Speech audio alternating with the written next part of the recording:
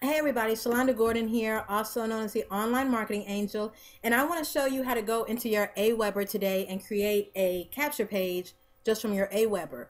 Now first you got to make sure you're on the list you want to use, okay, and then you're going to click on Web Forms over here. Okay, once you click on the web forms, it's going to open up your, your web forms or your capture page. See, I have a few here. So you're going to create a new web form. Okay, so you click on that now you're into here where you can create a web form. Now guys, a web form is where wherever you put your information, your email, your name, and that kind of thing, that's where you're going to place um, this information. This is how you're going to create this, okay? Now I'm going to show you a real simple one. Here you have one that's already kind of right here, right, that you can use. Now, you know, your header, you might want to edit your header and put something there, a picture there of some sort. Now, when you do this, you're going to want to basically have a picture that you'll have to form. Now, when you do this, whatever picture you decide to put up here, it's going to have to be an actual link. Okay, so you're going to have to make sure you have a web link for it. All right, so what you're going to do is you can click up here to edit the header. You click here, and when you click edit the header, it's going to come up here. And here you have this. Now, you're going to go over to the advanced options. Once you scroll down to the advanced options, you'll be able to see where the um, where you can put your background image right here, okay, for your header. And that's where you'll put your image.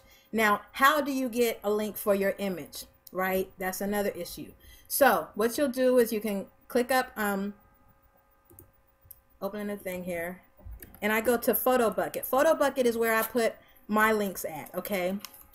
So you can go ahead and you sign in to your Photobucket. If you don't have an account here, you're going to need to go ahead and get one, okay? And um, and sign in and get and get yourself a Photobucket account. So I'm signing in here. Okay, guys. So here, here I am in my Photobucket. Now I can go and look in my library, right? And I have already a few things here. I'm just gonna do a basic, you know, a basic little web form for you here. So you'll be able to pick whatever one you want to use. So let me go back here and show you. So here, for this one right here, I'm not gonna put a picture. I'm just gonna type something here. Um, how discover how a single mom went from welfare to making 4K per month in 90 days. Okay, then you capitalize. Um, enter your info below. Now, this is just very vague, guys, but this is the kind of thing that you'll do. Now here also you can resize it so you can spread it out a little bit. You can go ahead and take this as well. And um, when you go back into the editor here you can center it. Okay so that's centered. And then you want to also center this as well. Okay so that that's centered okay and you save it. While you're in that header guys you can you can do your fonts different font sizes here. If you want to make your words bigger you can do that. You know you have to have to go ahead and copy, you know, cover it, and then you can make your words bigger, smaller, you know, whatever you decide to do for that, okay? And then you can change your font as well. You can go over here and change your font if you wanted to, okay? And then save it. Now, next you want to decide what you want your um your labels to be okay here. So you can edit you can have your name. Now you don't have a name at all but you can put your name here. You can have a full name or you can do a first and last name on there. So if on your Aweber you do a lot of emails where you put first name whoever it's going to for your autoresponder you might want to capture their name okay? So you can choose to capture first and last name full name however you decide to do that there.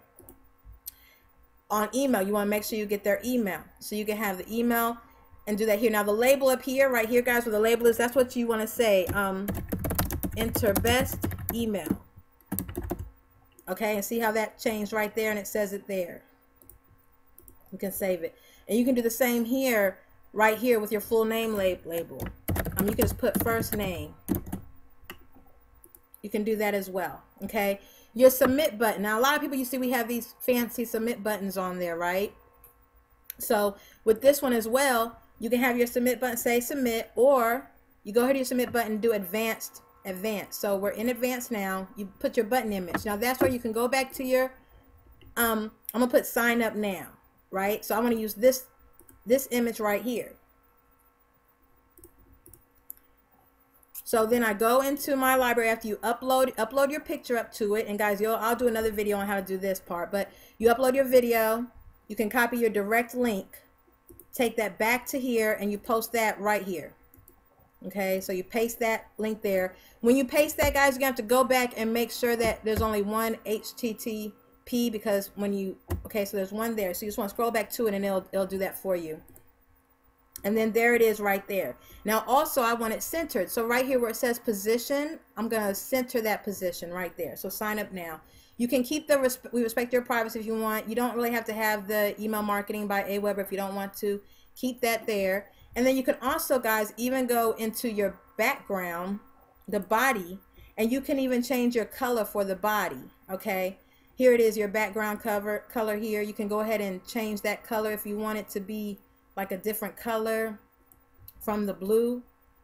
Um, this might come out looking, ooh, that's that's a weird looking thing right there. But, you know, you can do a different blue, like maybe I'd rather have a lighter blue. Okay, like that, okay? That's, that's where you can change your background. This is just a very vague example here. A lot of us do like a more of a, a beigeous color maybe. Let's see, get to yellow. And you can really make it like more of a tan. Okay, so that's how you get your background colors going, guys, right there. You can put a footer if you want to. You can always edit this and say, you know, um, see you on the inside.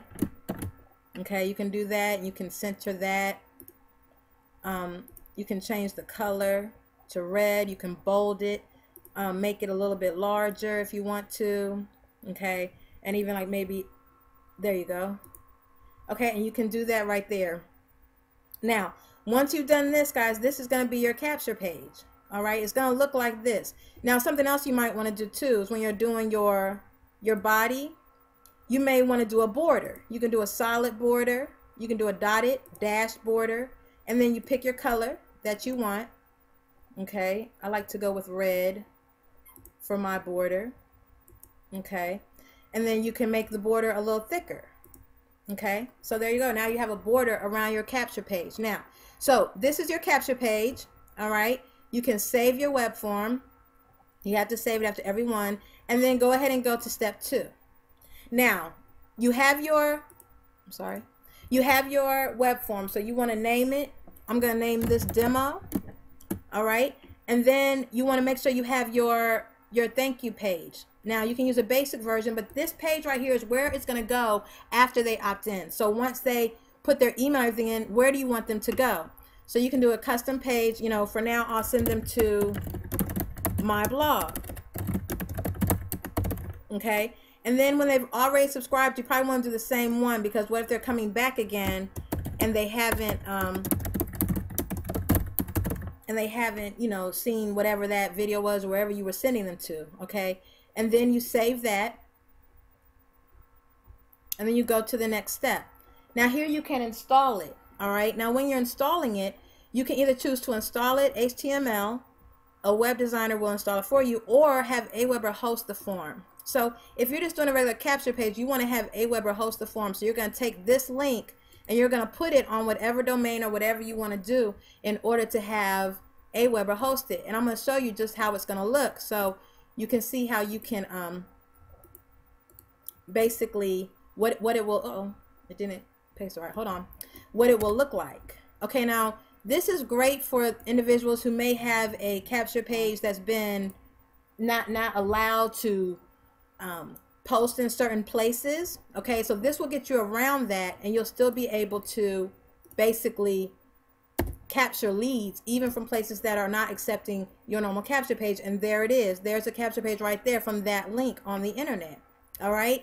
Now, and also when you generate leads from that capture page, it's going to come up in your list. It's going to come up in your list as showing you a way to track it as well. So wherever you put this capture page, you use this capture page. If you look at your, your leads for that day, right here it's going to show ad tracking what capture page that was that you used, okay, for that. So basically that's what it's going to look like. All right. So I hope this was helpful for you, how to create your own capture page on Aweber. Have an amazing day. Look forward to seeing you soon. If you really like this, go ahead and leave a comment saying if it helped you or if it didn't help you. And I'll see you soon. All right. Have a great day and keep smiling.